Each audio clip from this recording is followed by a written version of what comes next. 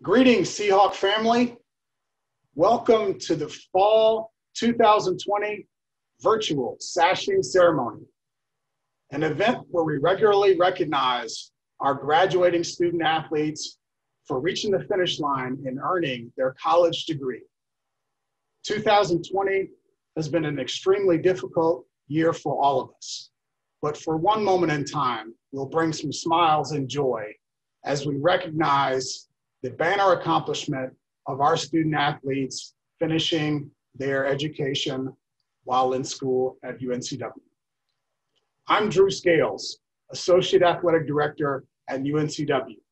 I will now turn it over to UNCW's Athletic Director, Mr. Jimmy Bass, for a few comments. Hi, I'm Jimmy Bass, Director of Athletics at UNCW. I want to extend warmest congratulations to our eight student athletes from four sports here at UNCW uh, on their graduation. Uh, it's been a really, really tough year this past year. Uh, congratulate you for working hard in the classroom, working hard on your sports, and certainly staying healthy. I congratulate your families, your extended families, and I wish you all the very best of luck with your careers. And we want to make sure that you know that you're always welcome back home here at UNCW. Before we get any further into our program, it's very important that we acknowledge the parents and guardians of our graduating student athletes, the sacrifices that they've made to help their young people participate in sport and entrusting UNCW with their well-being and safety to compete at a high level. We thank you and acknowledge you for your role in having your young people reach this point of a major accomplishment in their lives. Now, listeners, you will be treated to stories from our head coaches about the graduates and their experiences in their teams' programs throughout their time as student athletes. Coaches, the floor is yours. Hi, I'm Randy Hood, head baseball coach at UNCW. I'd like to congratulate all the December graduates, them and their families. What a great honor and achievement. I also would like to take the time to honor and, and recognize our three December graduates in our baseball program. Each of these three guys have completed the journey of what we talk about being a champion on and off the field uh, by getting their degree. Super happy for them and their families. All three of these guys have been part of uh, conference championship teams and also participants and uh, in NCAA regionals. Uh, they've experienced both sides of it from the field to the classroom. And again, just like tonight, take the time and, and recognize these three guys. The first guy I'd like to recognize is Ryan Hare from Hudson, North Carolina, uh, degree in recreation sports leadership. Uh, Ryan, your journey's taken you to three different institutions, and I'm super proud of you finishing up and getting your degree. I certainly wish you and your family nothing but success and happiness in your future, and I really thank you for everything that you've given our program the last two years. Second individual I'd like to recognize is Zarian Sharp from Greenville, North Carolina, degree in sociology. Uh, with COVID closing our season back in March, uh, Zarian had a decision to make over the summer whether to stay in school or, or sign a professional contract, and he chose to sign a professional contract with the Minnesota Twins. And we're super proud of him and happy for his decision and support him um, with everything that we've got. Uh, Zarian, certainly proud and happy to follow you in your next step and, and, and your baseball career and hope you make it to the big leagues. You've been a great uh, person in our program. Um, you've been a great Seahawk. You've battled through adversity, and we certainly have always been there pushing for you, and it's been great to see your journey. Um, I also want to really appreciate and thankful for you uh, keeping your promise to your mom and your family for getting your degree. Uh, it's a big accomplishment, and we're super happy and proud for you, and just looking forward to following your career. Thank you for all that you've given our program. The third individual I'd like to recognize is Luke Giselle. Luke's from High Point, North Carolina, got a degree in recreation sports leadership. Luke becomes the fourth Giselle sibling to get a degree from UNCW, two older brothers and a sister. Such a great honor for him and his family. happy for all of you guys. You've been a huge part of our program the past four years, and I'm also super happy that you're coming back and playing one more year with us. Looking forward to seeing how well things go this year. You've been a great leader on and off the field.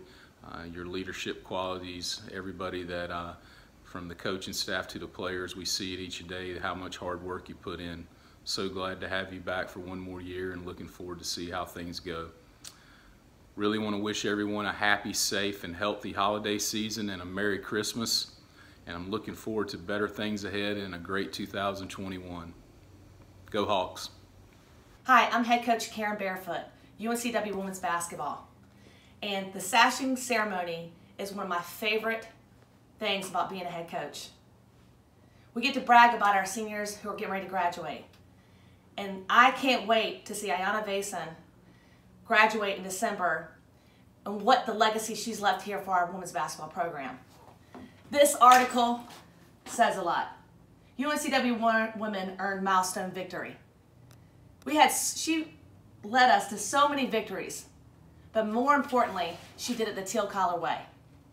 She was five foot, getting and ones, diving on the floor, getting after it.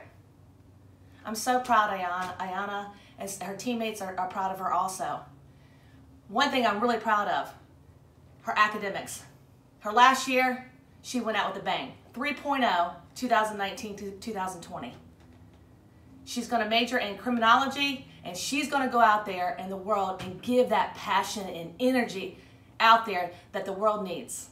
Ayana, we love you. Good luck. Thank you. Two graduates this evening Gabriel Cabral, who will be graduating um, in an IMBA master's program of business administration. Uh, Gabriel is from Petropolis, Brazil. Uh, joined us from Charleston, West Virginia, uh, where he won a national championship as a Division two player at Division two level, and uh, immediately made an impact in our program by coming in here and uh, showing what an incredibly talented soccer player he is. Phenomenal technique, um, great vision and passing and played with a real freedom that maybe we would expect from from Brazilians. But wow, just an enjoyable um, attitude towards the game, and would love to express himself. And did some amazing things on a pitch. And um, like I said, what an impact he had in our program, and uh, led our team in 2019 to a CAA regular season championship. Um, by going undefeated in the CAA, which is is no mean feat. So um, super happy for you, Gabriel. I know it was hard uh, trying to combine doing a master's program and performing at the Division One level, and you certainly did it with a with aplomb. And uh, you should be extremely proud of yourself and the impact that you you had in your new home after after Charleston, West Virginia. Um, big things lie lie ahead for you, and and uh, either on the soccer field or in in life. And uh, very very uh, ecstatic to have played some role and have had the opportunity to coach you here at UNCW. Drew Rabel came to us and is a redshirt junior. Um, Drew comes from Raleigh, North Carolina, and uh, came into our program and had to be very patient early on. He redshirted his freshman year. Um, but he's just embodies the spirit of, of what you look for in, in student athletes these days. Um, you know, he didn't hang his head.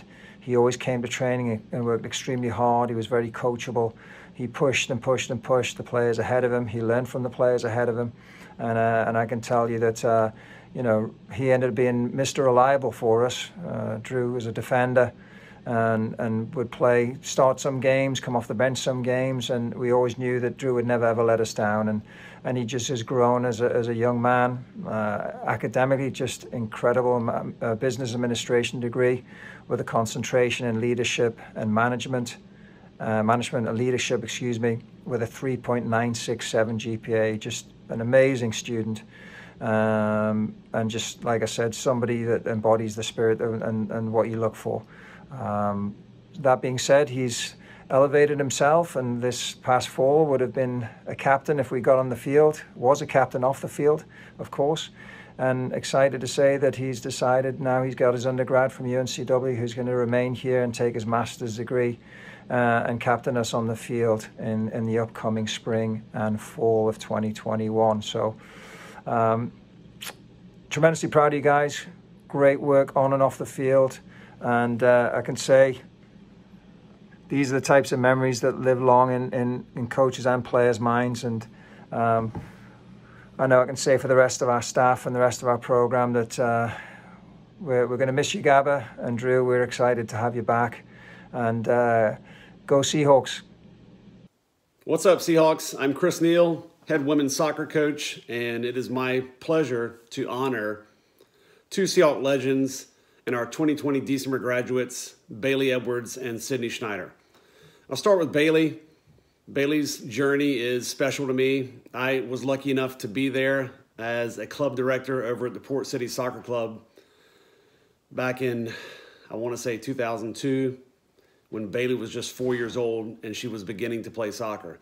And even from those early days, she just had this way about herself on the field. You could tell how into sports and how competitive she was.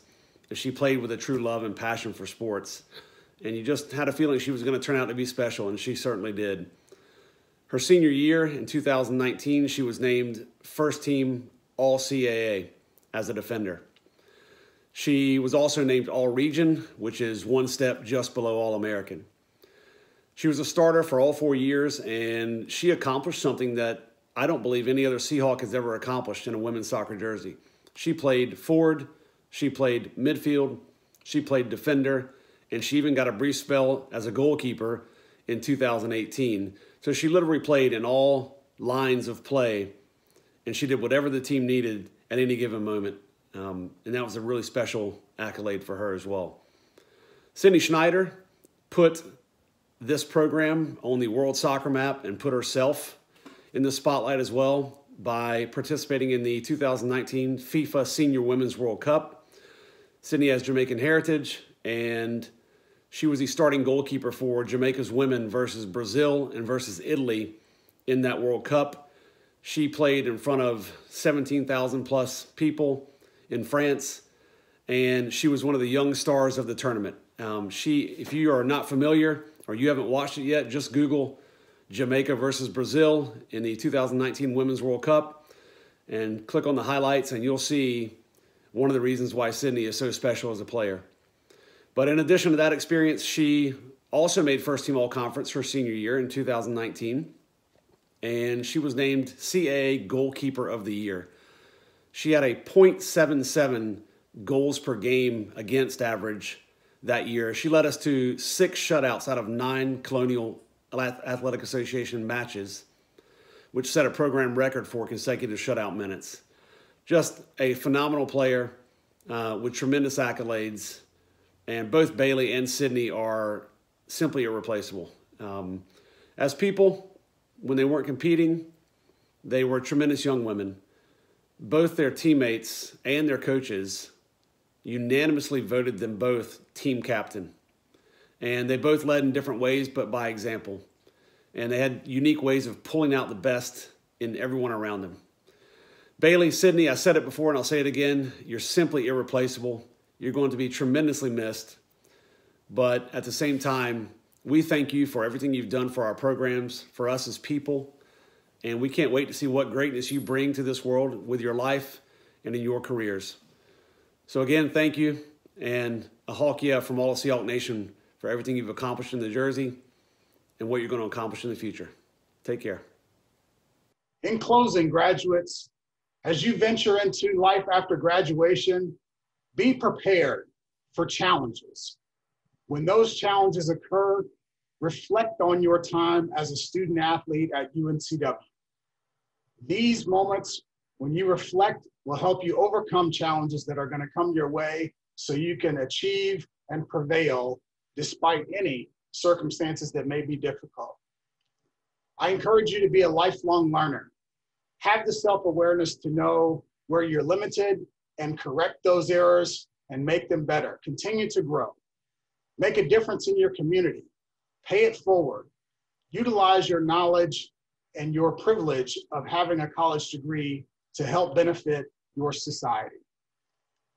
When it's safe, come back to campus. We love to see your faces and hear about life developments that may have happened since you graduated.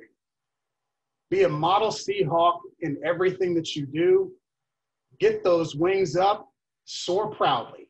Congratulations.